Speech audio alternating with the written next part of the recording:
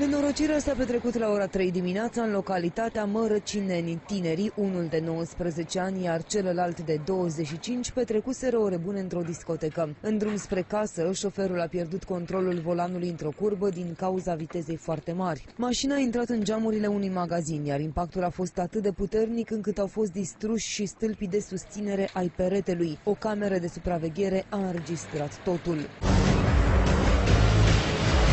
Geamurile sunt făcute praf. praf și geamuri și tot. Și caloriferele de la vă dați seama ce viteză a fost. L-a furat acolo în curbă, a acoșat magazinul probabil și după aceea a intrat în zi. Tinerii nu au avut nicio șansă. Pompierii au scos cu greu trupurile din mașina făcută praf. Singurul factor care rezultă dintr-un asemenea accident este factorul viteză. În autoturism erau încarcerate două persoane care, din păcate, erau decedate. Autoturismul era în proporție de 90% avariat. Rezultatele examenului medico-legal vor arăta și dacă tinerii consumaseră alcool înainte să plece la drum.